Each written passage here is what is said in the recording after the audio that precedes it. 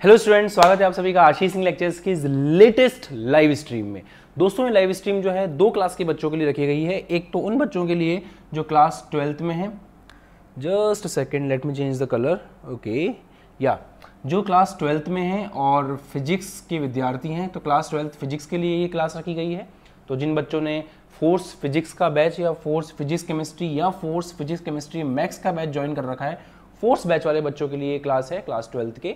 और साथ में ये जो क्लास है, ये नीट और आई आई जेई वाले बैच वाले बच्चों के लिए भी है, क्योंकि जो बच्चे नीट और आई आई जेई की तैयारी कर रहे हैं, उनके लिए भी ये क्लास रखी गई है ट्वेल्थ फिजिक्स की क्लास सबसे इंपॉर्टेंट बात यह है, प्यारे बच्चों, की बहुत लंबे समय बाद हमारी क्लास हो रही है, कारण मैंने आपको कल की क्लास में बता दिया था। तबीयत मेरी थोड़ी ख़राब थी, अभी मैं ठीक हूँ, और थोड़ा सा हो सकता है कि एक दो दिन फ्लो बनने में टाइम लगे, मेरे आवाज़ मेरा एनर्जी लेवल ये सब लोग, सब कुछ जो है वापस पुराने जैसा बनने में हो सकता है, थोड़ा समय जाए। तब तक के लिए मैं आपकी कॉपरेशन की उम्मीद कर रहा हूँ कि आप लोग सहयोग करेंगे।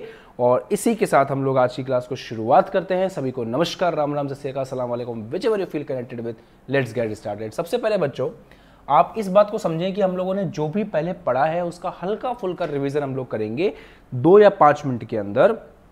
और उसके बाद जो है, हम लोग आज की कक्षा को स्टार्ट करेंगे। ठीक है? चलिए शुरू करते हैं। देखो, अभी तक आप लोगों ने जो बात स्टार्ट की थी, वो शुरू की थी इलेक्ट्रोस्टैटिक्स से। इलेक्ट्रोस्टैटिक्स से आप लोगों ने क्लास को शुरू किया था। हल्का सा रिवाइज करवाऊँगा। दो से पाँच मिनट का रिवीजन रहेगा, उसके बाद मैं आज के टॉपिक पे आ जाऊँगा। बहुत इंटरेस्टिंग टॉपिक मज़ा आएगा आपको। इलेक्ट्रोस्टैटिक्स को हिंदी में कहते हैं स्थिर वैद्युत की। और इलेक्ट्रोवर्ड का मतलब होता है चार्ज इंग्लिश में नहीं पढ़ा रहा हूँ, ये वर्ड ऐसा है, इसलिए बता रहा हूँ, बहुत इंपॉर्टेंट वर्ड है। चार्ज का मतलब होता है आवेश और स्टैटिक का मतलब होता है एट रेस्ट इसका मतलब यह है कि आपका जो आवेश है, जिसको हम क्यू से प्रदर्शित करते हैं, उस आवेश का वेग कितना होना चाहिए? शून्य होना चाहिए। तो अगर किसी आवेश का वेग शून्य है, अगर कोई आवेश जो है वो रुका हुआ है और रुके हुए आवेश का आप अध्ययन कर रहे हैं तो उसे हम लोग उस शाखा को उस ब्रांच को हम लोग जो है स्थिर वैद्युतिकी के नाम से जानते हैं, ये हम लोगों ने पढ़ा। फिर आवेश के बारे में बहुत सारे डिस्कशन हमने किए कि भाई जो आवेश है वो आवेश के बहुत सारे गुणधर्म होते हैं। फटाफट करके उनको रिवाइज करते हैं। सबसे पहला गुणधर्म ये था आवेश का कि आपका जो आवेश है, वो एक ऐसा गुणधर्म है वस्तु का, जो दो क्षेत्र उत्पन्न करने में उसकी मदद करता है। पहला क्षेत्र था विद्युत क्षेत्र और दूसरा क्षेत्र था चुंबकीय क्षेत्र। तो आवेश किसी वस्तु का वह गुणधर्म है, जो विद्युत क्षेत्र और चुंबकीय क्षेत्र उत्पन्न करता है, जिसके कारण वस्तु और या फिर कहीं पर अगर ये दोनों क्षेत्र हैं तो उसको अनुभव करने के लिए भी आपको आवेश की आवश्यकता होती है। आवेश की संकल्पना जो है वो इलेक्ट्रॉन के आधार पर दी जाती है। यहाँ तक भी हम लोगों ने पढ़ा था कि आवेश की जो संकल्पना है वो इलेक्ट्रॉन के आधार पर दी जाती है। अगर किसी वस्तु में इलेक्ट्रॉन की कमी होती है, समझ रहे हैं बात को? अगर किसी वस्तु में इलेक्ट्रॉन की कमी होती है, किसी भी कारण से अगर वस्तु में इलेक्ट्रॉन कम हो जाए तो हम कहते हैं कि वस्तु के ऊपर धनावेश आया है, वस्तु आपकी धनावेशित हुई है। तो इलेक्ट्रॉन की कमी का मतलब होता है धनावेश। और अगर कहीं भी इलेक्ट्रॉन की वृद्धि हो जाए, किसी भी तरह से अगर इलेक्ट्रॉन बढ़ जाए किसी वस्तु के अंदर तो हम उसको कहते हैं कि वहाँ वस्तु के ऊपर क्या आया है? ऋणावेश। बस हाँ यहाँ पे एक मोटी मोटी बात हम लोगों ने ये सीखी थी सबने कि इलेक्ट्रॉन के आधार पर ही वस्तु की आवेश की संकल्पना दी जाती है। इलेक्ट्रॉन ही है जो किसी वस्तु के आवेश के लिए उत्तरदायी है। प्रोटॉन नहीं है। प्रोटॉन क्यों उत्तरदायी नहीं है? क्योंकि उनका एक तो द्रव्यमान बहुत ज़्यादा है। और दूसरी बात हम लोगों ने ये सीखी थी कि वो नाभिक के अंदर बहुत मज़बूत बल से जुड़े हुए हैं, जिसका नाम है नाभिकीय बल। यहाँ तक मोटी मोटी बात समझ में आती है सभी को बढ़िया से। बहुत अच्छी बात। चलिए उसके बाद आपने आवेश के बारे में जाना कि आवेश क्वांटमीकरण का सिद्धांत आवेश का आपने पढ़ा कि आवेश किसी भी वस्तु में होता है तो वो इलेक्ट्रॉन के आवेश का पूर्ण गुणज होता है। तो आप लोगों ने यहाँ से सीखा कि Q बराबर प्लस माइनस एनी इस फॉर्मूले के बारे में आपने जाना और इसको समझा, जहाँ Q वस्तु का आवेश है एन स्थानांतरित इलेक्ट्रॉनों की संख्या है और ई e जो है, वो एक इलेक्ट्रॉन का आवेश है और एक इलेक्ट्रॉन के आवेश को हम लोग बोलते हैं 1.6 पॉइंट सिक्स इंटू दस की घात माइनस उन्नीस गुलाम टेंटेड है। आगे हो समझ में? यहाँ तक कोई दिक्कत नहीं है, बहुत खुशी की बात। फिर आप लोगों ने ये जाना कि आप अगर किसी वस्तु को इलेक्ट्रॉन देते हो तो उसके द्रव्यमान में वृद्धि होती है और किसी वस्तु से इलेक्ट्रॉन निकाल लेते हो तो उसके द्रव्यमान में कमी आती है। उस द्रव्यमान में जो परिवर्तन है, उसका फॉर्मूला आप लोगों ने सीखा, delta M is equal to plus minus N M A ये आप लोगों ने जाना और ये भी बहुत इंपॉर्टेंट बात थी क्योंकि इसके बाद ये समझ में आता है कि हाँ लॉजिकली जो है, किसी वस्तु का द्रव्यमान बढ़ता और कम होता है अगर अपन उसको आवेश देते हैं। ठीक है? जो भी बातें मैं बोल रहा हूँ, जो भी बातें मैं बोल रहा हूँ, वो सारी बातें जो हैं आप लोगों को पहले मैं पढ़ा चुका हूँ। आज की क्लास को हम शुरू करेंगे अब। तो ठीक है, यहाँ तक रिवीजन हम लोगों ने कर लिया है, बढ़िया समझ में आ गया है सबको, बहुत खुशी की बात है, आगे बढ़ते हैं। एक टॉपिक और है छोटा सा, वो पढ़ के फिर हम लोग हमारे टॉपिक पाएँगे। आवेश के संरक्षण का नियम, है ना? आवेश संरक्षण कंजर्वेशन ऑफ़ चार्ज आवेश के संरक्षण का नियम। इसकी हेडिंग लगाएँ सभी बच्चे, और मैं मैं जानता हूँ कि मेरे बच्चे बहुत एक्टिव हैं। क्लास के अंदर एकदम फुली एक्टिव रहते हैं। और इसीलिए मैं बच्चों को बार बार कहता हूँ कि आप लोग जब भी क्लास में हो तो या तो अपनी कॉपी और पेन लेकर के बैठा करो, या फिर कमेंट सेक्शन के अंदर एक्टिव रहा करो, क्योंकि इन दोनों ही चीज़ों से क्या होता है कि आप चीज़ों को अच्छे से समझ पाते हैं और लिख करके तुरंत उसका अभ्यास भी कर लेते हैं। चलिए तो बात यह है, हम आपके सामने एक छोटा सा केस रखने जा रहे हैं, उस केस के बारे में आप दिमाग लगाइएगा और सोचिएगा। आपको बहुत अच्छे से पता है कि सोडियम क्लोराइड, अब सारा फोकस मेरी तरफ़ कर दो, मैं बहुत खास बात बताने जा रहा हूँ, सोडियम क्लोराइड याद है आप लोगों को? आप लोगों ने जब क्लास टेंथ में थे, मेरा बर्थडे नहीं है भैया आज, मेरा बर्थडे नहीं है, मेरा बर्थडे पाँच फरवरी को आता है, मेरा बर्थडे नहीं है आज, ठीक है? ओके तो प्यारे बच्चों, बात यह है कि आवेश के संरक्षण के नियम को समझने के लिए छोटा सा एग्ज़ाम्पल लेंगे, अपन उस पर ध्यान दीजिएगा। सोडियम क्लोराइड का निर्माण, याद है आप लोगों को? सोडियम क्लोराइड के निर्माण में क्या होता है कि भाई, Na अपने एक इलेक्ट्रॉन का दान करता है। मैं जल्दी जल्दी बताऊँगा, क्योंकि आपको आता है ऑलरेडी ये चीज़। सोडियम का इलेक्ट्रॉन विन्यास होता है दो कॉमा आठ कॉमा एक। तो ये चाहता है कि इसका ये जो एक इलेक्ट्रॉन है, इसका दान हो जाए, और अगर एक इलेक्ट्रॉन का दान हो जाएगा तो इसका स्टेप पूरा हो जाएगा। तो ये भाई साहब क्या करते हैं? अपने इलेक्ट्रॉन का दान करते हैं। इलेक्ट्रॉन के दान करने से इलेक्ट्रॉन की कमी हो जाती है इनके अंदर, प्लस बढ़ जाता है, इसलिए इसके ऊपर आता है एन प्लस ठीक है? ये जो इलेक्ट्रॉन आप यहाँ देख रहे हो, ये इलेक्ट्रॉन ग्रहण करता है क्लोरीन। क्लोरीन क्यों ग्रहण करता है? क्लोरीन इसलिए ग्रहण करता है भैया क्योंकि दो कॉमा आठ, कॉमा सात। इन भाई साहब की स्थिति ऐसी है कि इनको अगर कोई आकर के भीख में एक इलेक्ट्रॉन दे जाए तो इनकी ज़िंदगी समझ जाएगी। तो ये एक इलेक्ट्रॉन सोडियम से ले लेते हैं, और जब ये सोडियम से लेते हैं तो इलेक्ट्रॉन की वृद्धि होती है तो क्या आता है इनके बीच में? माइनस। और आप ये बात समझ सकते हैं कि एन प्लस और सी माइनस दोनों मिलकर के किसका निर्माण करते हैं? एन का निर्माण करते हैं। तो अगर इन दोनों अभिक्रियाओं को जोड़ करके मैं नेट अभिक्रिया लिखना चाहूँ या इन दोनों प्रकम को जोड़ करके नेट प्रकम लिखना चाहूँ तो आपके इलेक्ट्रॉन से इलेक्ट्रॉन तो कट जाएगा। और आपका मेन चीज़ क्या बनेगी? कि आपका जो एन प्लस है, वो आपके सी एल माइनस से मिल रहा है। और क्या बना रहा है? एन ए सी एल बना रहा है। ये मोटी मोटा प्रकम है जो यहाँ पे आपको देखने को मिलता है। ठीक है, सबको समझ में आ गया यहाँ तक? बढ़िया। अब इसको मैं एक लाइन में लिख रहा हूँ। तो एक लाइन में लिखने में ऐसे लिखा जाएगा कि एन प्लस जो है वो आपके सी एल माइनस से जुड़ रहा है भाई साहब। और क्या बना रहा है? एन सी एल बना रहा है। ये समझ में आता है कि एन ए प्लस आपके सी एल माइनस से मिल रहा है और एन बना रहा है। ठीक है। अब ये समझो। ये पूरा प्रोसेस एक बंद कमरे के अंदर हो रहा है। इस पूरे प्रकम के अंदर किसी ने भी बाहर से किसी को भी डिस्टर्ब नहीं किया। मतलब ना तो हमने बाहर से कोई इलेक्ट्रॉन डाले ना हमने इलेक्ट्रॉन निकाले। मतलब हमने इनको अलग छोड़ दिया एक कमरे के अंदर कि भाई तुमको जो करना है आपस में तुम करो। एन और सीएल को हम लोगों ने अलग छोड़ दिया तो एन ने अपना इलेक्ट्रॉन सीएल को दिया। ये उनके बीच की आंतरिक मामला है। मतलब बाहर से कोई इनको परेशान नहीं कर रहा। इसलिए हम इसको कह सकते हैं कि ये जो प्रक्रिया हुई है, समझना बच्चों ध्यान से, मैं अपने शब्दों का प्रयोग बहुत सही से कर रहा हूँ। ये जो प्रक्रिया हुई है, ये प्रक्रिया विलगित निकाय की प्रक्रिया है। विलगित निकाय। अब जो बच्चे थोड़ा बहुत इलेवेंथ क्लास पढ़ करके आए हैं, उनको ये बात पता होगी। और जिनको नहीं पता है वो सुने। विलगित निकाय का मतलब होता है निकाय। निकाय का मतलब होता है इंग्लिश में सिस्टम है ना? हम इस ब्रह्मांड के जितने भी हिस्से हैं, ब्रह्मांड बहुत बड़ा है ना? उस ब्रह्मांड का वो हिस्सा जिसके बारे में हम बात कर रहे हैं, वो हमारा निकाय है, वो हमारा सिस्टम है। फॉर एग्ज़ाम्पल मैं ये मान सकता हूँ कि भाई मैं अभी जितने बच्चे इस लाइव क्लास में बैठे हुए हैं, वो सारे बच्चे और ये कैमरा वैमरा ये सब जो है, ये मेरा निकाय है, ये मेरा सिस्टम है, क्योंकि मैं इसी के अंदर अभी डील कर रहा हूँ।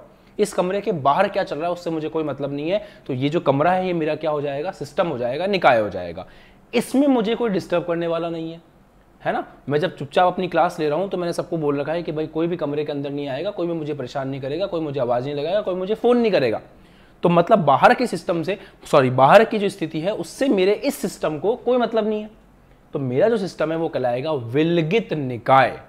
बाहर से कोई मुझे परेशान नहीं कर रहा है। तो यहाँ पे भी ऐसा ही है कि जब Na प्लस सी से मिलकर के NaCl बनाता है तो बाहर से उनको परेशान करने वाला कोई नहीं, इसलिए इसको हम बोलते हैं कि ये आपका विलगित निकाय प्रक्रिया है। ठीक है, अब हम थोड़ा दिमाग लगाएँगे, अच्छे से सब लोग फोकस करें यहाँ पर। हम दो स्थितियों पर विचार करते हैं। एक स्थिति हम लेके चलेंगे प्रक्रिया के पहले की, और एक स्थिति हम लेके चलेंगे प्रक्रिया के बाद की। तो मैं यहाँ लिख रहा हूँ, प्रक्रिया से पूर्व प्रक्रिया से पूर्व और यहाँ मैं लिख रहा हूँ प्रक्रिया के पश्चात। अब आप इस बात पर ध्यान देना कि मैं किन किन चीज़ों के बारे में चेक करूँगा। मैं कुछ चीज़ों को चेक करूँगा प्रक्रिया के पूर्व और प्रक्रिया के पश्चात। आप लोग मेरा साथ दीजिएगा। देखो, सबसे पहले हम ये चेक करते हैं कि प्रक्रिया के पूर्व कुल आवेश या कुल धनावेश कितना? धनावेश शुरू करते हैं। कुल धनावेश कितना है? आप लोग भी कमेंट सेक्शन में एक्टिव होकर के बता सकते हैं। मैं फटाफट से उन बच्चों के नाम लेना चाहूँगा जो क्लास में अभी बैठे हुए हैं, ताकि थोड़ा सा मोटिवेशन आप लोगों को फील हो। फरमान हुसैन भाई साहब यहाँ पर बैठे हुए हैं। संदीप है, रवि है क्लास के अंदर, गुरु है, गुड्डू है, हरिराम है, संदीप है, सोनू है है ना? नीशु वर्मा क्लास के अंदर हैं। बढ़िया वेरी गुड बेटा। ऐसे ही एक्टिव रहो। तो कुल धनावेश की बात करते हैं। अब आप लोग मेरे साथ चेक करो प्रक्रिया के पूर्व कुल धनावेश कितना है? कुल धनावेश, समझ रहे हो ना? टोटल पॉजिटिव चार्ज धनावेश। तो चेक करो, ये प्रक्रिया के पहले का हिस्सा है पूरा और ये प्रक्रिया के बाद का हिस्सा है। तो अगर आप प्रक्रिया के पहले के हिस्से की बात करें तो आप कुल धनावेश को चेक करें एन के ऊपर धनावेश है और वो भी कितना है? वन तो हम बोल सकते हैं कि प्रक्रिया के पूर्व जो कुल धनावेश है वो कितना है? प्लस का वन हम लोग रिलेटिव लिख रहे हैं। हम लोग आपेक्ष अपेक्षिक आवेश लिख रहे हैं तो हम लोग प्लस वन माइनस वन के फॉर्म में इस बात को लिख सकते हैं और बोल सकते हैं। तो मेरे साथ वापस देखो, कुल धनावेश। देखो, शब्दों का चयन सही से करना है। चेक करना है कुल धनावेश मतलब टोटल पॉजिटिव चार्ज आपको चेक करना है प्रक्रिया के पहले और प्रक्रिया के पश्चात। ये प्रक्रिया के पूर्व की स्थिति है और ये प्रक्रिया के पश्चात की स्थिति है। तो जब आप चेक करने जा रहे हो तो आपने देखा कि भाई प्रक्रिया के पूर्व एन प्लस के ऊपर एक प्लस है। इसका मतलब प्रक्रिया के पूर्व कुल धनावेश कितना है? प्लस वन है। प्रक्रिया के पश्चात आप चेक करने गए तो जो एन है, उसके ऊपर तो मुझे कोई प्लस दिख नहीं रहा। इसका मतलब प्रक्रिया के पश्चात जो कुल धनावेश है वो कितना है? ज़ीरो है। ठीक है। तो कुल धनावेश हम लोगों ने चेक कर लिया। उम्मीद करता हूँ आपको समझ में आ गया होगा। अब आप मुझे कमेंट सेक्शन में बताओ सेकंड चीज़। मैं चेक करने जा रहा हूँ कुल ऋणावेश। कुल ऋणावेश आप मुझे बताइए कि प्रक्रिया के पूर्व और प्रक्रिया के पश्चात कितना है, कैसा है, किस तरह से बताओ। कुल ऋणावेश आप लोग कमेंट करके बताएँगे मुझे। अब मैं उम्मीद कर रहा हूँ कि आप लोगों को समझ में आ रहा है तो आप खुद जवाब देंगे कि कुल ऋणावेश कितना है। तो ऋणावेश को चेक करते हैं। अगर मैं प्रक्रिया के पहले देखूँ कुल ऋणावेश तो सीएल के ऊपर माइनस वन है। तो मैं बोल सकता हूँ कि प्रक्रिया के पूर्व जो कुल ऋणावेश है, उसकी संख्या माइनस वन है। प्रक्रिया के पश्चात मुझे कोई नेगेटिव नहीं दिख रहा। इसका मतलब प्रक्रिया के पश्चात जो है, वहाँ पे नेगेटिव चार्ज नहीं है, ऋणावेश नहीं है तो वो ज़ीरो होगा। बहुत अच्छे। कितने सारे बच्चों ने जवाब दिया, मन खुश हो जाता है देख करके जब हमारे बच्चे इस तरह से मेहनत करते हैं। वेरी गुड बेटा, बहुत ही अच्छा। अब आते हैं नेक्स्ट पॉइंट पे अपन थर्ड कुल आवेशों की संख्या। कुल आवेशों की संख्या चेक करिए। देखो, शब्द का चयन मैंने कहा ना, बहुत इंपॉर्टेंट है तो मैं क्या पूछ रहा हूँ, ये आपके समझ में आना बहुत ज़रूरी है। कुल आवेशों की संख्या की मैं बात कर रहा हूँ। तो चेक करेंगे बच्चों कुल आवेशों की संख्या कितनी? ध्यान दीजिएगा, प्रक्रिया के पूर्व कुल आवेशों की संख्या। गिनने हैं आपको। आपको गिनने हैं, आवेश गिनने हैं। चलो गिनते हैं। प्रक्रिया के पहले कितने आवेश हैं? एक प्लस है, एक माइनस है। तो आवेशों की संख्या नंबर ऑफ़ चार्जेस आवेश का मान नहीं पूछ रहा है आपसे कोई। आपसे कोई ये नहीं पूछ रहा है कि बताओ कितना प्लस है, कितना माइनस है। बस वो इतना पूछ रहा है कि ये बता दो कि आवेश है कितने? उनकी संख्या कितनी है? तो आप आराम से कर सकते हो। आप देख रहे हो, एक प्लस है, एक माइनस है। मतलब कुल आवेशों की संख्या कितनी है? दो है। तो प्रक्रिया के पूर्व कुल आवेशों की संख्या दो हमें दिखाई दे रही है। प्रक्रिया के पश्चात मुझे कोई आवेश नज़र नहीं आ रहा। इसका मतलब प्रक्रिया के पश्चात आवेशों की संख्या कितनी है? ज़ीरो है। ठीक है यहाँ तक? तो बहुत से बच्चों ने आंसर सही दिया है। मन खुश हो जाता है देख करके दो कॉमा ज़ीरो। ठीक है। अब आते हैं चौथी चीज़ पे। अब आपको बताना है कुल आवेश। कुल को इंग्लिश में नेट भी बोलते हैं एन ई टी नेट है ना? तो कुल आवेश नेट चार्ज आपको बताना है। बताओ मुन्ना, कुल आवेश कितना होगा? नेट आवेश कितना है? प्यार से करेंगे। देखो, आप लोग जानते हो, मैंने ही आपको पढ़ाया है कि आवेश में जब भी कुल की बात आती है नेट की बात आती है तो हम क्या करते हैं? हम आवेश का, जितने भी आवेश हमारे पास हैं, उन सबका बीज गणितीय योग करते हैं। बीज गणितीय योग का मतलब होता है एल जेब्रिक सम तो हम बीज गणितीय योग करेंगे, हम एल जैब्रिक सम करेंगे तो चेक करिए। प्रक्रिया के पूर्व हम आवेश जितने भी उनको जोड़ के देखेंगे तो एन के ऊपर प्लस वन आवेश है तो हमने लिखा प्लस वन आवेशों को हमेशा उनके चिन्ह के साथ जोड़ा जाता है। ये बात मैंने पहली क्लासेस में, पिछली दो क्लासेज में आपको बता रखी है। उम्मीद करता हूँ आपको याद है। तो अपन ने सीख रखा है कि भाई एन के ऊपर प्लस वन है तो प्लस वन लिख दिया। अब ये प्लस जोड़ने को प्रदर्शित करता है, क्योंकि आपको कुल आवेश चाहिए तो आप जोड़ रहे हो। बाद में प्रक्रिया के पहले सीएल के ऊपर कितना आवेश है? माइनस वन तो दूसरा वाला आपका आवेश है माइनस वन ध्यान रखें कि जब भी आप जोड़ रहे हैं साइन के साथ जोड़ें क्योंकि आवेशों का सदैव बीज गणितीय योग होता है तो ये प्लस वन और ये माइनस वन कितना हो गया? शून्य. इसका मतलब नेट आवेश, अगर कुल आवेश की बात करें, दोनों आवेशों को जोड़े हम लोग प्रक्रिया के पूर्व तो प्लस और माइनस को जोड़ने से आंसर कितना आ जाएगा? ज़ीरो ठीक? अब अगर बहुत अच्छे बच्चों ने आंसर दिया है और अगर अपन प्रक्रिया के पश्चात बात करें तो प्रक्रिया के पश्चात तो कोई आवेश दिख ही नहीं रहा वैसे भी एनएसएल के ऊपर तो वहाँ पर नेट आवेश कितना है? शून्य है। मेरी टीचिंग स्टाइल में मैं इस बात का बहुत ध्यान रखता हूँ कि बच्चा कंसेप्ट से शुरुआत करे, बच्चा चीज़ों को फील करे, रटे नहीं। तो आवेश संरक्षण की जो परिभाषा है ना, उस परिभाषा को समझाने के लिए एग्ज़ाम्पल दिया गया था। अब ध्यान से आप सुनना, आपको परिभाषा चुटकी बजाते हुए समझ में आ जाएगी। देखिए, परिभाषा ये बोलती है कि विलगित निकाय की किसी भी प्रक्रिया में सुनना ध्यान से, आ जाएगा समझ में। विलगित निकाय की किसी भी प्रक्रिया में, प्रक्रिया के पूर्व और प्रक्रिया के पश्चात नेट आवेश, आप चेक कर लें, कुल आवेश बराबर रहता है, संरक्षित रहता है कंजर्व रहता है, यही है आपका आवेश संरक्षण का नियम। बहुत बड़ा नियम है, बहुत सिंपल नियम है। अब आपको समझ में आ गया होगा कि भाई किसी भी विलगित निकाय की प्रक्रिया में, प्रक्रिया के पूर्व और प्रक्रिया के पश्चात कौन सी चीज़ बराबर दिख रही है आपको? कुल नेट आवेश। तो यही आपका आवेश संरक्षण का नियम है। आप इसको कमेंट सेक्शन में लिखेंगे और मैं चेक करूँगा अभी कितने बच्चे एक्टिव हैं जो कमेंट सेक्शन में इस बात को लिख रहे हैं। बात यह है कि प्रक्रिया के, आपको लैंग्वेज तो याद हो ही जाएगी ना, मैं बता रहा हूँ इस तरह से कि विलगित निकाय की किसी भी प्रक्रिया में, प्रक्रिया के पूर्व और प्रक्रिया के पश्चात कुल आवेश, नेट आवेश बराबर रहता है। संरक्षित रहता है, ये बात आपको ध्यान रखनी है। यहाँ पे साथ में एक नोट का पॉइंट है, वो नोट का पॉइंट भी नोट करें कि भाई, कुल धनावेश, देखो आप, बराबर नहीं है। कुल ऋणावेश बराबर नहीं है, कुल आवेशों की संख्या भी बराबर नहीं है। तो कौन सी चीज़ बराबर होती है, पता होना चाहिए। एग्ज़ाम में मान लो आपसे पूछ लिया कि निम्न कथन सत्य है या असत्य है, बताइए। और कथन में लिख के दे दिया कि आवेश संरक्षण में कुल धनावेश बराबर रहता है। अब इस एग्ज़ाम्पल से आपके दिमाग की घंटी बजनी चाहिए कि सर ने ऐसा एग्ज़ाम्पल दिया था जिसमें कुल धनावेश बराबर नहीं था। इसका मतलब यह है कि कुल धनावेश बराबर हो भी सकता है और नहीं भी हो सकता। कंपलसरी नहीं है। कंपलसरी क्या है? क्या चीज़ें जो बराबर होगी? हमेशा याद रखें, कुल आवेश बराबर होगा। कुल धनावेश, कुल ऋणावेश और आवेशों की संख्या बराबर हो भी सकती है और नहीं भी। अंशुल ने लिखा है, सीमा ने लिखा है, संदीप ने लिखा है, मुस्कान ने लिखा है। वेरी गुड करिश्मा ने लिखा है, बहुत ही अच्छे, बहुत ही, फरमान ने लिखा है very good very good very good बहुत खुशी की बात. तो अब मैं इस परिभाषा को कंप्लीट करता हूँ, उसके बाद हम टॉपिक को चेंज करेंगे. आवेश संरक्षण का नियम टॉपिक आपका कंप्लीट हो गया है. इस टॉपिक में आपने जाना कि विलगित निकाय की किसी भी प्रक्रिया में विलगित निकाय को पता है इंग्लिश में क्या बोलते हैं? आइसोलेटेड सिस्टम है ना आइसोलेटेड सिस्टम बोलते हैं तो विलगित निकाय की किसी भी प्रक्रिया में प्रक्रिया के पूर्व और प्रक्रिया के पश्चात जो है, कुल आवेश जो है वो संरक्षित रहता है। कुल धनावेश, कुल ऋणावेश और कुल आवेशों की संख्या संरक्षित हो भी सकती है और नहीं भी, इस पर कंपल्सरी वाली बात नहीं है। इसका स्क्रीनशॉट लेना चाहो तो ले सकते हो।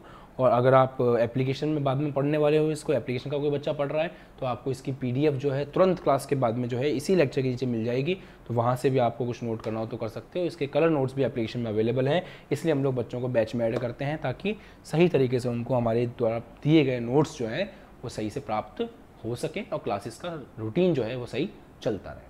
और जिन भी बच्चों ने बैच को अभी तक ज्वाइन नहीं किया नीचे जो नंबर आ रहे हैं उन नंबर के ऊपर कॉल कीजिएगा दस बजे बाद। आपको बताया जाएगा कैसे ऐड करना है और अगर खुद से करना चाहें तो व्हाट्सएप पर मैसेज कर सकते हैं वहाँ आपको जानकारी दे दी जाएगी। चलिए। अब हम शुरू करते हैं और आज की क्लास में अगले टॉपिक पे आते हैं जहाँ हम लोग बात करेंगे आवेशन के बारे में। तो सभी बच्चे अपनी कॉपी के अंदर हम्म, अपनी कॉपी के अंदर हेडिंग लगा लें आवेशन। आज इसी के बारे में हम लोग बात करेंगे आवेशन। देखो, आवेशन क्या होता है? जब भी हम किसी वस्तु को आवेश देते हैं, सुनना ध्यान से, जब भी हम किसी वस्तु को आवेश देते हैं तो किसी भी वस्तु को आवेश देने की जो प्रक्रिया है, उसे हम लोग आवेशन कहते हैं। समझ गए? किसी भी वस्तु को, किसी भी वस्तु को आवेश देने की जो प्रक्रिया है, उसे हम लोग आवेशन देते हैं। नोट करिए इस बात को कि किसी वस्तु को सभी बच्चे कमेंट सेक्शन में या कॉपी में नोट करें किसी वस्तु को आवेश देने की प्रक्रिया को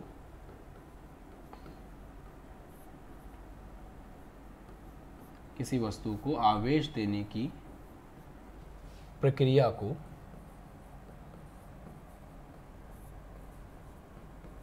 आवेशन कहा जाता है।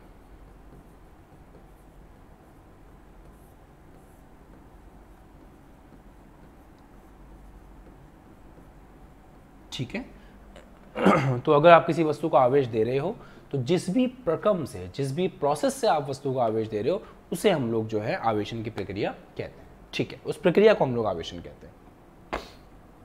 आवेशन के प्रकार की बात करते हैं।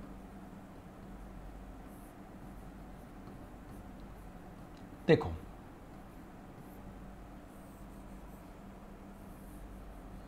आवेशन के बेसिकली दो प्रकार होते हैं। नोट करते चले साथ साथ कॉपी में या कमेंट सेक्शन में।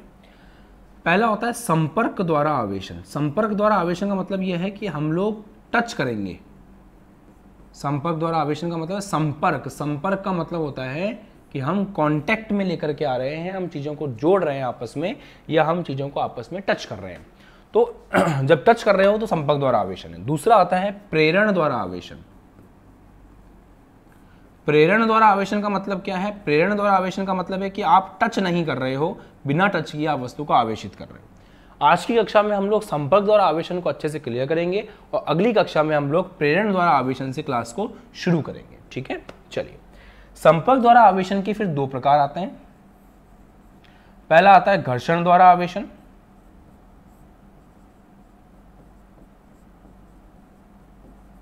दूसरा आता है चालन द्वारा आवेशन।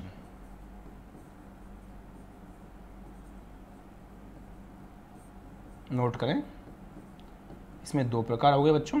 पहला प्रकार हो गया आपका घर्षण द्वारा संपर्क द्वारा आवेशन में दो प्रकार हो गए। पहला हो गया घर्षण द्वारा आवेशन और दूसरा आपका हो गया चालन द्वारा आवेशन। इन दोनों के बारे में आज विस्तार में बात करेंगे और ये टॉपिक जो है ये अगली क्लास में कवर किया जाएगा।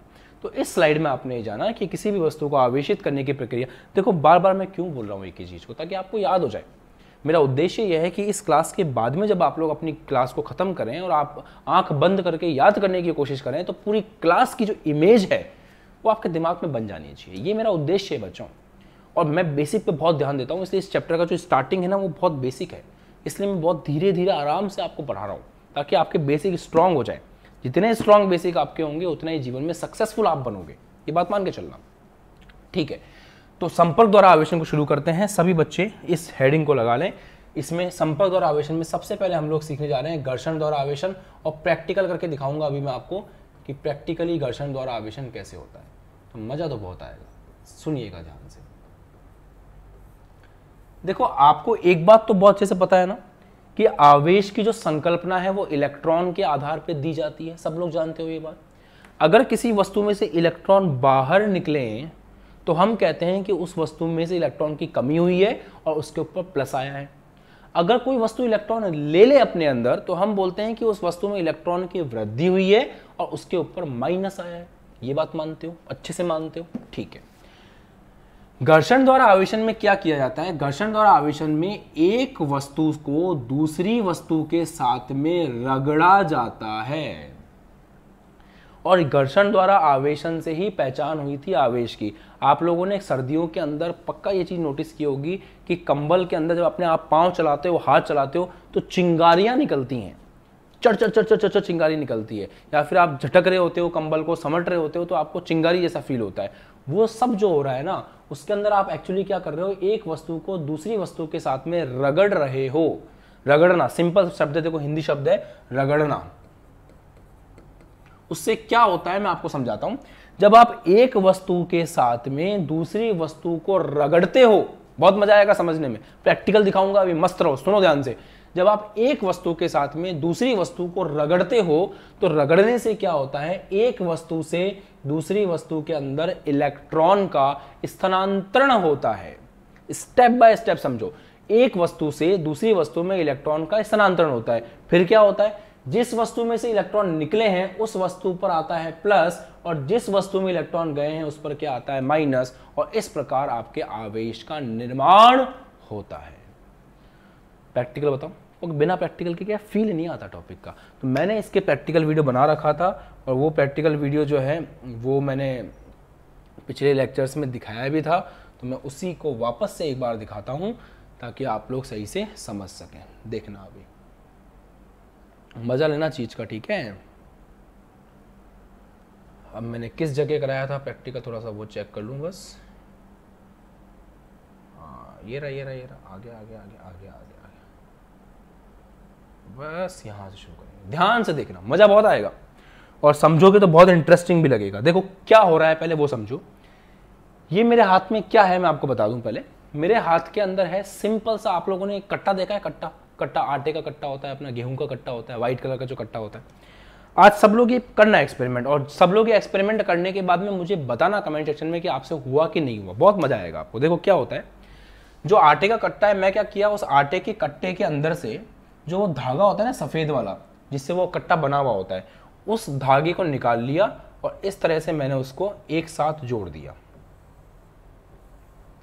तो आटे के कट्टे के साथ जो धागा है जो जिससे आटे का कट्टा बना हुआ है, सफ़ेद कलर का कट्टा होता है वो, सफ़ेद, पीला, नीला, जो भी हो, उसकी मैंने धारी निकाल ली, उसके अंदर से मैंने वो, जो उसका धागा है, वो निकाल लिया और उसको निकाल करके मैंने साथ में ऊपर से गिठान बना करके जोड़ दिया।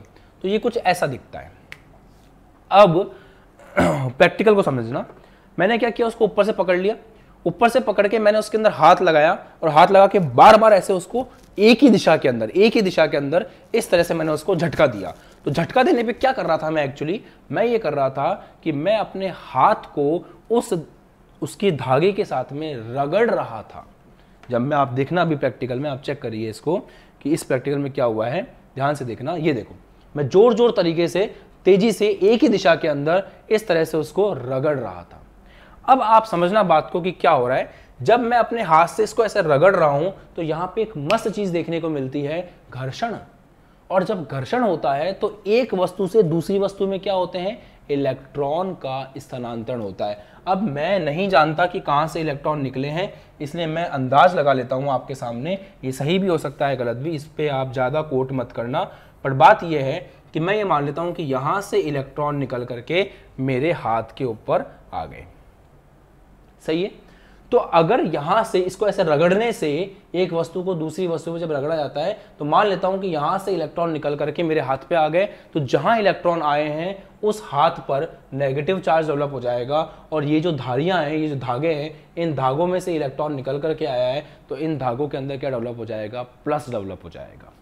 इतना खूबसूरत एक्सपेरिमेंट है कि आप जब घर पे करोगे तो मज़ा आ जाएगा आपको, क्योंकि आप इसमें दो चीज़ें सीखने वाले हो। कौन सी दो चीज़ सीखने वाले हो? पहली बात, जब आपने इस तरह से धागे को रगड़ा था, हाथ को धागे के ऊपर रगड़ा था तो धागे के ऊपर मान लेता हूँ प्लस आया था। तो सभी धागों के ऊपर प्लस आ गया। तो जब सभी धागों के ऊपर प्लस आया तो प्लस और प्लस में क्या होता है? प्रतिकर्षण। तो सारे धागे एक दूसरे से दूर जाते हुए आपको नज़र आएँगे। दूसरी बात, जो अपना हाथ था, अगर धागे के ऊपर प्लस आया है, मान लिया मैंने ऐसा तो अगर धागे के ऊपर मेरी पाँच उंगलियाँ बना दी मैंने कोई बात नहीं, ऋतिक रोशन वाली बात है। तो हुआ क्या? एक मिनट भाई साहब। तो हुआ क्या कि आपके धागे पर अगर प्लस आया है तो हाथ के ऊपर क्या आ गया? माइनस आ गया। प्लस माइनस में क्या होता है? आकर्षण होता है। तो ये धागा जो है, वो ऑटोमेटिकली आपके हाथ की तरफ़ आकर्षित होता हुआ आपको नज़र आएगा। ध्यान से देखो इस एक्सपेरिमेंट में। जब मैंने इस एक्सपेरिमेंट को शुरू किया था इनिशियली तो उस समय आपको मैं हल्का सा बैक लेके चलता हूँ, हल्का सा। देखना, हल्का सा बैक लेके चलता हूँ। ठीक है। तो जब अपन देखते हैं, क्या समझते हैं अपन? अभी आपको दिखाई देगा कि जब इस स्टार्टिंग में आप देखोगे तो आपको धागे एकदम सीधे दिखाई देंगे, ये देखो। बट जैसे ही मैंने उसको रगड़ना शुरू कर दिया, धागों के बीच का गैप बढ़ने लग गया और मेरे हाथ की तरफ़ ये धागा अट्रैक्ट हो रहा है, क्योंकि धागे में प्लस है, मेरे हाथ में माइनस है तो प्लस माइनस में आकर्षण हो रहा है और इन धागों के, खुद के बीच में प्लस प्लस होने के कारण प्रतिकर्षण हो रहा है तो ये हो रहा है अपने आप में दूर। तो इस प्रकार से घर्षण द्वारा आकर्षण आपको घर्षण द्वारा आपको देखने को मिलता है। उम्मीद करता हूँ आपको मज़ा भी आया है और समझ में भी आया है। कमेंट करके बताओ कि एक्सपेरिमेंट क्लियर हो गया। तो ज़्यादा समय खराब नहीं करेंगे और फिर अपन इस बात को लिख करके आगे बढ़ जाएँगे। देख लो आप, अच्छे से। यहाँ पे ये मेरे हाथ की तरफ़ आकर्षित हो रहा है और यहाँ पे आप देख सकते हैं इन धागों में, खुद में क्या हो रहा है प्रतिकर्षण। रीज़न आपको पता है कि इनमें जो मान लेते हैं यहाँ माइनस है। यहाँ माइनस आया तो माइनस माइनस इसमें प्रतिकर्षण कर रहा है, ये प्लस जो है वो आकर्षण कर रहा है। कुछ भी हो सकता है, ये अपन ने माना है इस चीज़ को। बताओ बच्चों, यहाँ तक कोई समस्या है क्या किसी को? ये एक्सपेरिमेंट आप घर पे भी कर सकते हो यार। इस एक्सपेरिमेंट को करने के लिए आपको, ये देखो, अच्छे से देख लो अब इस तरह से आपको करना है और फिर आपको बढ़िया से मस्त आकर्षण देखने को मिलेगा और इनके बीच में जो है खुद में प्रतिकर्षण आपको देखने को मिलेगा। ये देखो ये देखो। खुद प्रतिकर्षित हो रहे हैं और मेरे हाथ की तरफ़ क्या हो रहे हैं? आकर्षित हो रहे हैं, क्योंकि मेरे हाथ के ऊपर अलग आवेश है और वहाँ अलग आवेश है। ठीक है, समझ में आ गया सबको? बढ़िया। चलिए तो अब घर्षण द्वारा आवेशन के जितने भी पॉइंट्स हैं, उन सभी पॉइंट्स को लिख लेते हैं। नोट करिए फटाफट, जल्दी से नोट करिए। मैं बोलूँ या लिखूं? चलो लिख देता हूँ। घर्षण द्वारा आवेशन की प्रक्रिया में, फटाफट नोट करो, इस प्रक्रिया में, जल्दी से नोट करो, फिर आगे बढ़ेंगे। इस प्रक्रिया में एक वस्तु को दूसरी वस्तु के साथ रगड़ा जाता है। अब चाहो तो इसको आप कॉपी में लिखो, चाहो तो आप कमेंट सेक्शन में लिखो बट लिखना आपको ज़रूर है। और ये एक्सपेरिमेंट करना सब लोग घर पे। और कमेंट करके बताना मुझसे आपसे हुआ कि नहीं हुआ। एक बात का ध्यान रखना कि आप लोग थोड़ा सा धूप के अंदर जाकर के करना ये एक्सपेरिमेंट अंदर क्या नमी होती है तो नमी में ढंग से हो नहीं पाता ये। तो थोड़ा सूखी जगह पे धूप वगैरह हो, वहाँ करना है। अच्छे से होगा। तो इस प्रक्रिया में एक वस्तु को दूसरी वस्तु के साथ, दूसरी वस्तु के साथ रगड़ा जाता है। रगड़ने का मतलब समझ गए? घिसते हैं अपन ऐसे, जैसे आपने देखा था। एक वस्तु से दूसरी वस्तु में इलेक्ट्रॉन का स्थानांतरण होता है। एक वस्तु से दूसरी वस्तु में एक वस्तु से दूसरी वस्तु में इलेक्ट्रॉनों का स्थानांतरण होता है है ना?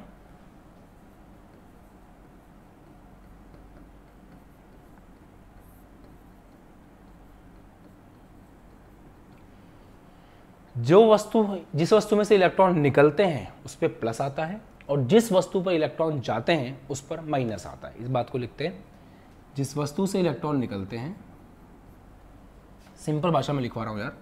जिस वस्तु से इलेक्ट्रॉन निकलते हैं, उस पर धनावेश आता है। उस पर धनावेश तथा जो वस्तु इलेक्ट्रॉन ग्रहण करती है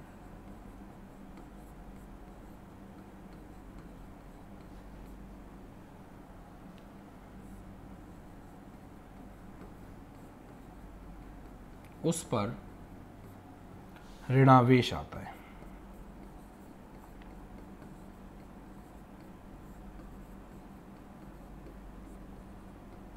ये बात समझ में आ गई? अब मैं यहाँ पे एक और बहुत बड़ी बात लिखने जा रहा हूँ, जिसको आपको ध्यान रखना आपके कमेंट दिखते रहते हैं यहाँ पे मुझे, और उससे मुझे आइडिया लगता रहता है कि आप लोग कितना समझ पा रहे हो चीज़ों को। देखो, इसमें एक और बात खास है, जो आपको ध्यान रखनी पड़ेगी। कि जैसे मान लीजिए आपने एक वस्तु को दूसरी वस्तु के साथ में रगड़ा और एक वस्तु से चार इलेक्ट्रॉन निकल करके दूसरी वस्तु के अंदर चले गए। तो जिस वस्तु में चार इलेक्ट्रॉन आए हैं, उसके ऊपर तो माइनस का चार आवेश आ गया। और जिस वस्तु से चार इलेक्ट्रॉन गए हैं, उसके ऊपर प्लस का चार आवेश आ गया। ये बात समझ में आती है? नोट करने वाली बात यह है, नोटिस करने वाली बात यह है कि जितना प्लस है, उतना ही माइनस है। क्योंकि बात तय है कि एक वस्तु से अगर पाँच इलेक्ट्रॉन निकले तो दूसरी वस्तु में जाएँगे। तो पहली पे प्लस का पाँच आवेश आएगा, दूसरी के ऊपर माइनस का पाँच आवेश आएगा। तो जो धनावेश आ रहा है घर्षण द्वारा आवेशन में, या जो ऋणावेश आ रहा है, उन दोनों का वैल्यू बराबर है। जो धनावेश आ रहा है घर्षण द्वारा आवेशन में, या ऋणावेश आ रहा है, उनकी वैल्यू बराबर है। अगर ये चार है तो वो भी चार है। साइन का फ़र्क है, एक प्लस एक माइनस है। तो हम ये बोल सकते हैं कि इस प्रक्रिया में ऋणावेश और धनावेश का परिमाण वैल्यू मैग्नीट्यूड बराबर होता है। तो लिखें इस बात को कि इस प्रक्रिया में, इस प्रक्रिया में, इस प्रक्रिया में, लिखें लिखें लिखें, इस प्रक्रिया में धनावेश तथा ऋणावेश का परिमाण बराबर होता है।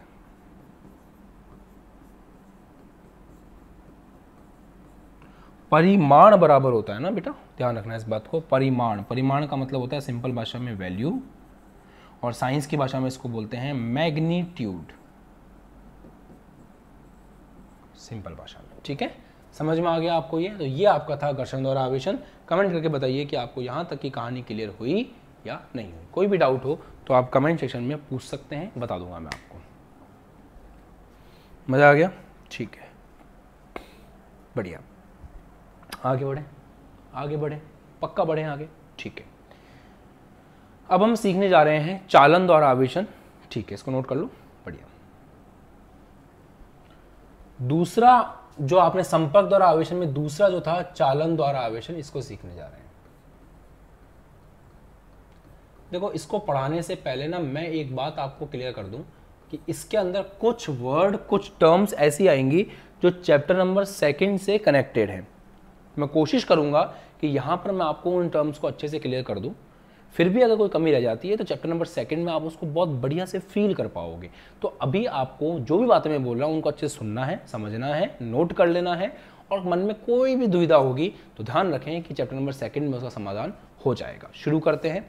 मैं एक केस आपके सामने रखता हूँ कि भाई एक पानी की टंकी है जो ऊपर रखी हुई है और एक टैंक है जो नीचे है। आपके सबके घरों में इस तरह का अरेंजमेंट होगा कि एक पानी की टंकी होगी जो ऊपर रखी होगी एक टैंक होगा जो नीचे होगा। अब मैं आपसे एक सवाल पूछ रहा हूँ कि अगर मैं इस पानी की टंकी को इस टैंक से एक पाइप के द्वारा जोड़ दूँ और उस टंकी के अंदर पानी भर दूँ, इस टंकी के अंदर मैं पानी भर दूँ तो अगर नल को ऑन कर दिया जाए तो मैं आपसे एक नॉर्मल सवाल पूछ रहा हूँ कि पानी कहाँ से कहाँ फ्लो करेगा। तो आप लोग बहुत समझदार हो, आप लोग प्रैक्टिकली ये बात जानते हो, देखते हो हमेशा कि पानी इस टंकी में से अपने आप, पानी इस टंकी में से अपने आप इस टैंक के अंदर फ्लो करेगा। ये बात समझ में आती है? क्यों हो रहा है ऐसा? समझेंगे इसको कि इस पानी जो है, पानी इसमें से इसमें से यहाँ से यहाँ तक अपने आप जाएगा। अगर आपको टैंक के अंदर से टंकी में चढ़ाना है, इस टैंक में से ऊपर चढ़ाना है तो वो अपने आप नहीं जाएगा। उसके लिए या तो पानी का प्रेशर आए, या फिर हम लोग उसके लिए मोटर का प्रयोग करते हैं हमारे घरों में, ताकि हम टैंक से पानी को ऊपर चढ़ा सकें। क्लियर अब इसका फ़र्क क्या है? क्यों हो रहा है ऐसा? तो इन दोनों में एक चीज़ का डिफरेंस है, वो डिफरेंस है लेवल का। इंग्लिश में लेवल बोलेंगे, हिंदी में स्तर बोलेंगे। ज़मीन से ये जो स्तर है, ये अलग है। स्तर नंबर वन बोल सकता हूँ मैं इसको। ये टैंक का ज़मीन के साथ जो स्तर है वो अलग है लेवल उसका अलग है, और टंकी आपने ऊपर रख रखी है तो टंकी का जो स्तर है वो अलग है। इसको लेवल वन बोल सकते हैं एल वन और इसको बोल सकते हैं एल टू तो इस टंकी से, इस टैंक के अंदर पानी इसीलिए जा रहा है क्योंकि इन दोनों के बीच में लेवल का डिफरेंस है। और आपको ये बात पता होगी कि इसलिए हमारे शहर के अंदर जो पानी की टंकी होती है ना जो सप्लाई देती है पूरे शहर को, वो बहुत ऊंचाई पे रखी जाती है ताकि वहाँ से आपको घरों तक जो है सप्लाई दी जा सके। मोटी मोटी बात आप लोग समझ गए होंगे कि पानी का जो फ्लो है, पानी पानी पानी का जो फ्लो है, वो किस लिए हो रहा है? क्योंकि यहाँ पे इन दोनों के बीच में किस चीज़ का अंतर है? इन दोनों के बीच में स्तर का अंतर है, लेवल का डिफरेंस है। ये बात समझ में आती है? ठीक है। ऐसे ही, मान लीजिए आपके पास एक ऐसी वस्तु है, जिस वस्तु के ऊपर आवेश है।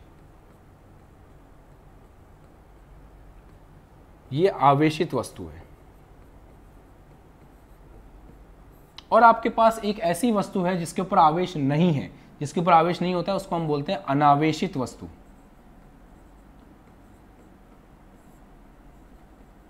अनावेशित वस्तु बोले तो इसका एक दूसरा नाम भी है उदासीन वस्तु। न्यूट्रल बोलते हैं इंग्लिश में। ठीक है।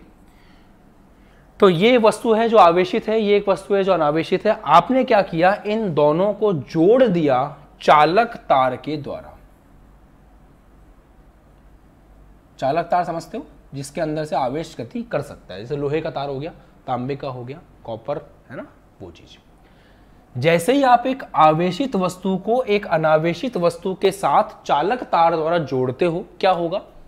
इस आवेशित वस्तु के अंदर से आवेश फ्लो करना शुरू कर देगा, आवेश गति करना शुरू कर देगा अनावेशित वस्तु के अंदर।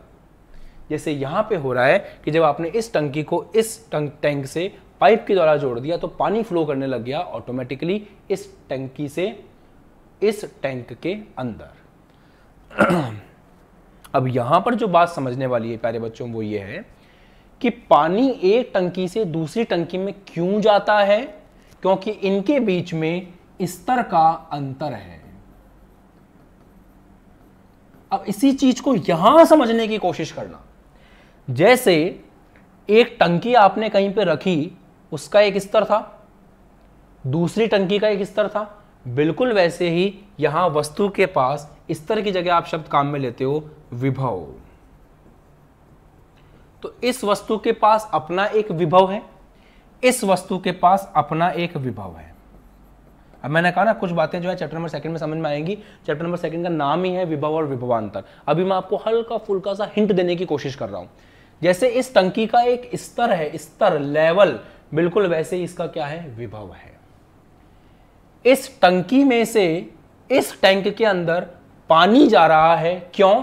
क्योंकि किसका अंतर है? स्तर का अंतर है। बिल्कुल वैसे ही एक वस्तु से दूसरी वस्तु में आवेश जाएगा, अगर किस चीज़ का अंतर हो, विभव का अंतर हो, अर्थात इन दोनों वस्तुओं के बीच में क्या हो, विभवांतर। तो अब मैं आपको ये मोटी मोटी बात समझाने में शायद कामयाब हो गया हूँ, मुझे ऐसा लगता है कि टंकी के अंदर एक टंकी से दूसरी टंकी में पानी जाता है स्तर के अंतर के कारण, और एक वस्तु से दूसरी वस्तु में आवेश जाता है विभव के अंतर के कारण। अगर स्तर का अंतर शून्य हो जाए तो पानी जाना बंद कर देगा। ऐसे ही अगर विभव का अंतर शून्य हो जाए तो आवेश जाना बंद कर देगा। अब यहाँ पर बहुत सारे बच्चे ऐसे कंफ्यूज होते हैं कि मतलब बहुत बुरा लगता है। कंफ्यूजन क्या होता है मैं आपको बताता हूँ। पहला कंफ्यूजन उनके दिमाग में ये होता है मैं आपको एक एक करके सारे कंफ्यूजन दूर करता हूँ। सुनना। सबसे पहला कंफ्यूजन नंबर वन उनके दिमाग में ये होता है कि एक वस्तु से दूसरी वस्तु तक आवेश तब तक जाएगा जब तक दोनों आवेश बराबर नहीं हो जाए। मतलब इस वस्तु से इस वस्तु तक आवेश तब तक जाता रहेगा जब तक कि इन दोनों का आवेश बराबर नहीं हो जाए। गंदी बात, गलत बात। आप सोचो, क्या इस टंकी से इस टैंक में पानी तब तक जाएगा जब तक इसका पानी और इसका पानी बराबर नहीं हो जाए? ऐसा तो होता नहीं है। ये पूरा टंकी पूरी की पूरी खाली हो जाएगी। पानी बराबर नहीं होगा, पूरी की भी टंकी खाली हो जाएगी। क्योंकि एक टंकी से टैंक में पानी इसलिए जा रहा है क्योंकि इनके बीच में स्तर का अंतर है। तो इस तरह का अंतर जब तक बना रहेगा, तब तक पानी जाता रहेगा, भले ही टंकी खाली ही क्यों ना हो जाए। बिल्कुल वैसे ही इन दोनों के बीच में आवेश इसीलिए जा रहा है क्योंकि इन दोनों के बीच में विभव का अंतर है। जब तक इनके बीच में विभवांतर ज़ीरो नहीं होगा, तब तक आवेश चलता रहेगा, भले ये पूरा का पूरा खाली ही क्यों ना हो जाए। विभवांतर ज़ीरो होना चाहिए, विभव का अंतर ज़ीरो होना चाहिए, और विभव आपस में बराबर हो जाने चाहिए। जैसे यहाँ पर अगर आप देखो तो एक टंकी को और दूसरी टंकी को आपने सेम लेवल पर रख दिया तो क्या हुआ? इन दोनों का स्तर जो है, वो बराबर हो गया और स्तर का अंतर कितना हो गया? ज़ीरो हो गया। और अब आप अगर पाइप जोड़ोगे तो पानी का फ्लो नहीं होगा। बिल्कुल वैसे ही यहाँ पर चेक करें तो एक वस्तु और दूसरी वस्तु का अगर विभव बराबर हो जाए तो इनके बीच में विभवांतर शून्य हो जाएगा और फिर जो आवेश है उसका प्रवाह रुक जाएगा। बताओ यहाँ तक समझ में आया? विभवांतर शून्य होना चाहिए और विभव बराबर होना चाहिए। बच्चे यही गलती करते हैं कि विभव बराबर हो जाए, विभव शून्य हो जाएगा, तब आवेश का प्रभाव रुक जाएगा। नन्ना नन्ना मुन्ना, विभव ज़ीरो नहीं होना चाहिए। विभव बराबर होना चाहिए। विभव का अंतर शून्य होना चाहिए। जब भी कंफ्यूजन हो रहा हो, इस एग्ज़ाम्पल को याद रखो, टंकी का स्तर बराबर होना चाहिए, स्तर ज़ीरो नहीं होना चाहिए।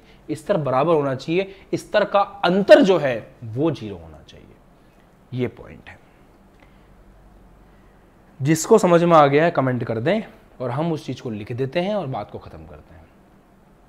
ठीक है? तो इसके अंदर मैं ये बात बोलना चाहूँगा कि इसकी परिभाषा जो है वो किस प्रकार से बनती बाकी परिभाषा आपको नोट्स वगैरह में लिखी हुई मिल जाएगी। मैं बोल देता हूँ, कोई बच्चा लिखना चाहे तो वीडियो को बाद में पॉज करके लिख लेना कि जब एक आवेशित वस्तु को, सुनना ध्यान से, परिभाषा बोल रहा हूँ मैं, जब एक आवेशित वस्तु को, एक अनावेशित वस्तु के साथ चालक तार द्वारा जोड़ा जाता है बहुत सुंदर होती है परिभाषाएँ साइंस के अंदर। कुछ बच्चे परिभाषाओं को रटते हैं, याद करते हैं। मुझे समझ में नहीं आता कि रटने की आवश्यकता क्या है। हर चीज़ सिंपल है यार।